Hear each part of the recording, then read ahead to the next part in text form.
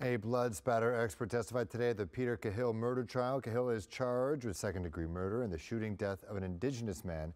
Kelly Vitella was in court and joins us now with the details.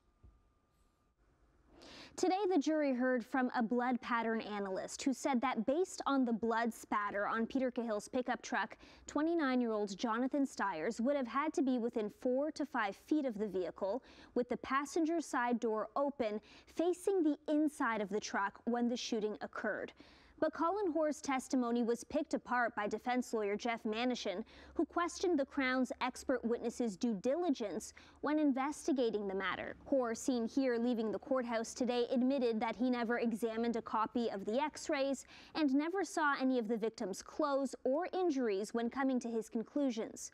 The shooting happened in February of 2016 on Peter Khill's property in Hannon.